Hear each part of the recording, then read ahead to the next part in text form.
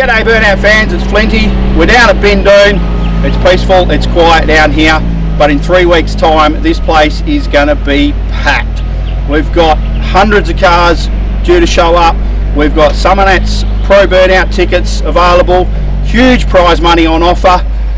We'll be here filming, I've got my crew all lined up.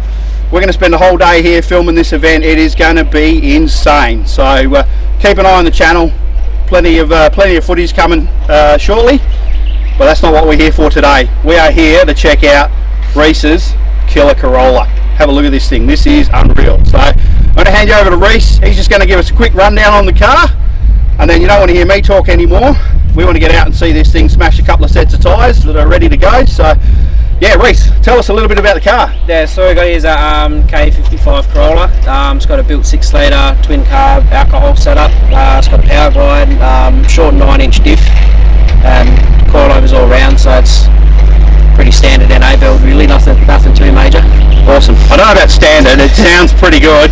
Just come off the dyno. Did 520 at the treads. Uh, 532 at the oh, there you go. treads. 532 at the treads. Um, 7600 RPM. Yeah, okay. So she's going to be a little screamer as well.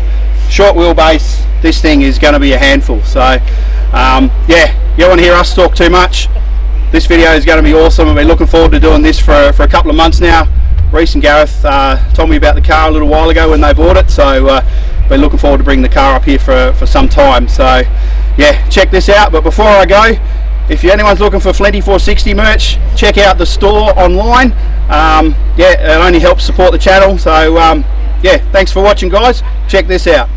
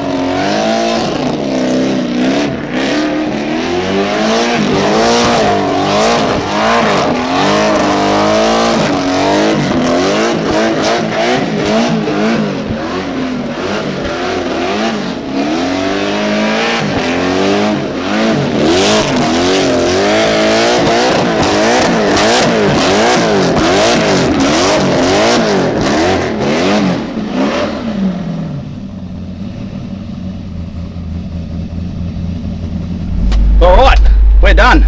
Got a set of tyres off. Brought two. Few little issues, few little teething problems to sort out, but they're going to drive it back on the trailer. So I know Reece has got a heap of people that he wants to thank because these things just don't happen by themselves. So I'll hand you over to Reece, say his thank yous, and uh, yeah, we'll be out of here.